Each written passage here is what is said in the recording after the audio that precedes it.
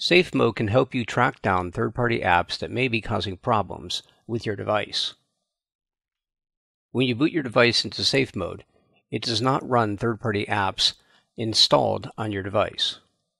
However, you can still use your device's core functions while in Safe Mode. If your device doesn't exhibit the same problem issues while in Safe Mode, then you know that an app you've installed is the cause. You can uninstall problematic apps while still in safe mode, and then do a normal reboot to get out of safe mode. Here's how you do all that. First, bring up the power menu by pressing and holding the power button. Then select power off.